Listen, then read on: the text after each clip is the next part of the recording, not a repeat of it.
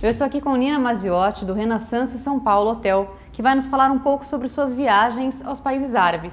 Tudo bem, Nina? Tudo bem, você? Tudo bem.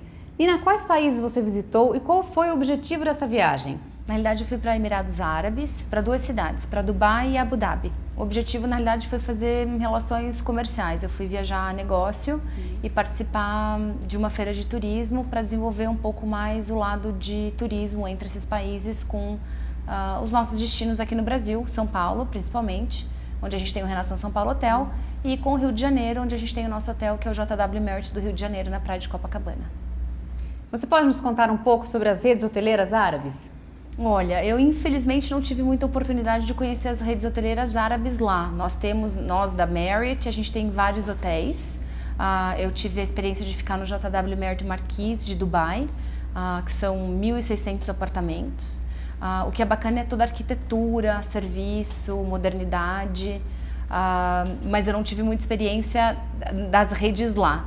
Uh, eu posso te dizer o que a gente tem de serviço para receber esse público aqui no Renaissance São Paulo Hotel, que é um público que tem uma cultura super interessante e, e umas particularidades quando, quando viaja, não só a trabalho, mas quando a turismo também exemplo, agora essa época de junho, julho e agosto é época de férias, é muito quente em Dubai, né? Muito quente nesses, nesse destino.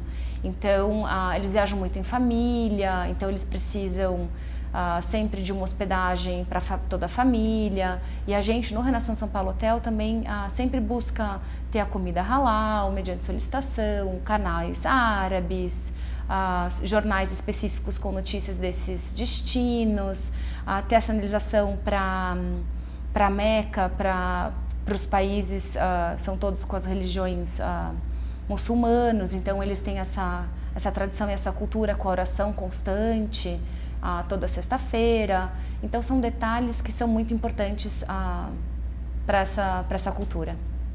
Nina, vocês costumam receber muitos hóspedes árabes no Brasil? E quais são as expectativas de vocês para os próximos anos? Eu acho que esses, os países árabes, ainda mais agora com esses voos diretos que as companhias aéreas têm de Qatar, com Qatar Airlines saindo de Doha direto para São Paulo.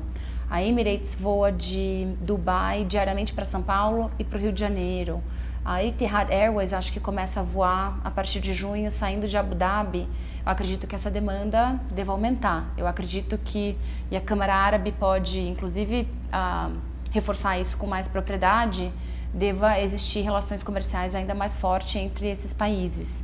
Em relação ao turismo, com a Copa do Mundo vindo ah, ano que vem, 2014, e as Olimpíadas, eu acredito que seja um grande incentivo para essa para essa demanda aumentar cada vez mais. Esses países são apaixonados por futebol. O Brasil é um país que é fantástico para futebol. Então eu acredito que essa demanda realmente aumente. E se a gente unir forças, órgãos públicos e as forças privadas, órgãos públicos e privados, uhum. né? Se a gente unir essas iniciativas e trabalhar melhor esses mercados, eu acredito que essa demanda possa realmente uh, crescer cada vez mais para os nossos uh, ah, para o nosso país, né? Com certeza. Não só São Paulo, para o país como um todo. Muito obrigada, obrigada pela sua entrevista, Nina. Obrigada a você.